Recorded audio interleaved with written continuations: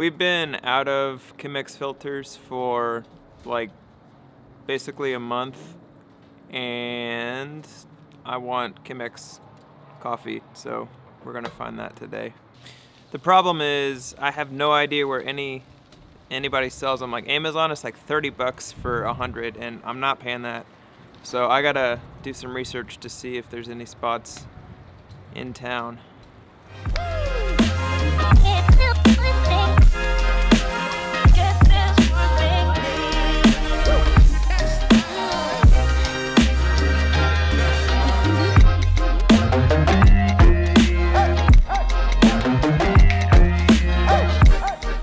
Try going to World Market. Hopefully they have them. Hopefully.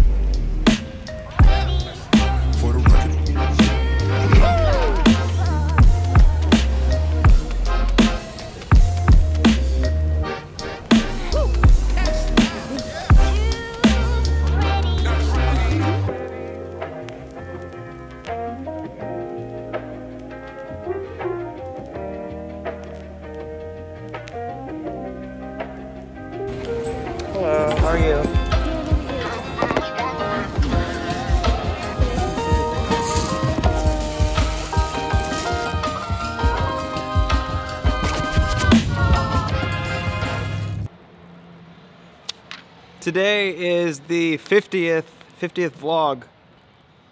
Ooh, this coffee's so good. Yep, today is the Mark's 50 50 vlogs, and that was a goal that I had when I originally started this. I said if I could get to 50, that'd be great. Well, we're here, and I'm pumped. I, I met a goal.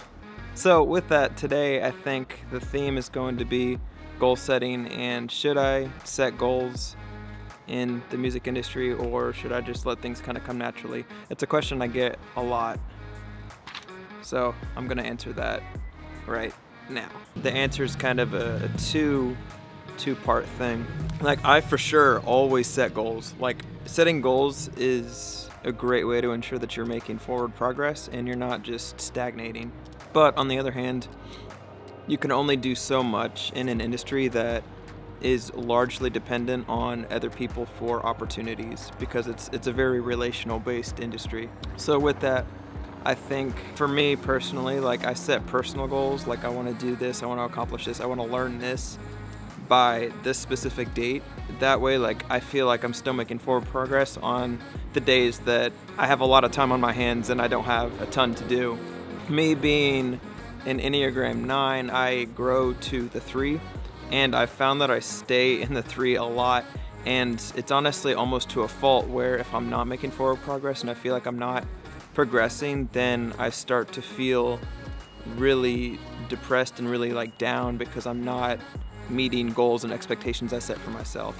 But when people don't call you or you're just in a lull with your season as a musician, then you if you don't like set goals, if you don't have those things that you've done yourself and the, those missions that you've set for yourself, you can really fall into dangerous ter- territory of like feeling like you don't you're re- you're not making it or you're not actually doing much. Cuz for my career, it's always it's been seasons of I'm just super busy and just work keeps piling and piling and piling and then I go into a season where there's nothing at all. I'm like free all the time.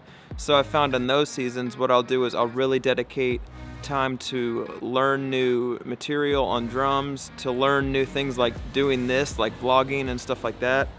Um, even like learning different mix techniques and stuff like that so that I can further grow and expand my marketability.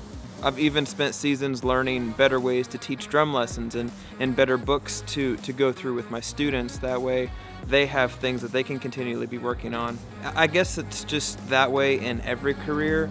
It's just in my career, this is like what works for me and this helps me stay leveled. Without it, I think I would go crazy and my wife would probably want to kill me. Hopefully that, that made sense. Hmm. This coffee's so good. I missed Chemex. Chemex is by far my favorite way to make coffee. We've been doing like AeroPress and, and V60, which it's they're good, but I just I love Chemex specifically. But everywhere's been out, and like I said, the the place the, the Amazon had it for like 30 bucks, but I'm not gonna pay 30 dollars for Chemex filters. We paid like 10 dollars for ours. Anyway, if you have any questions, let me know.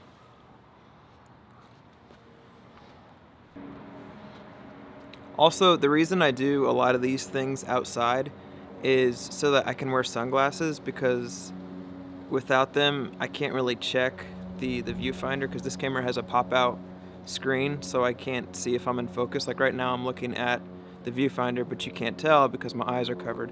And without it, I kind of look like I'm going cross eyed because that's me looking at the viewfinder, looking at you. Viewfinder, you. I thought I would just clarify that. I want to wear them inside, but that puts me on a level I don't really want to be at, so my solution was to do a lot of these talking heads outside.